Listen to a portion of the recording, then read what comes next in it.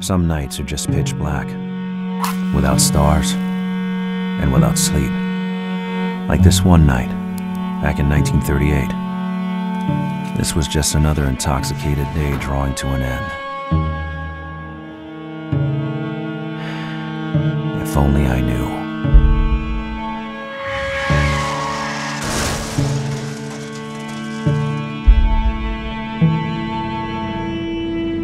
Did I hit her?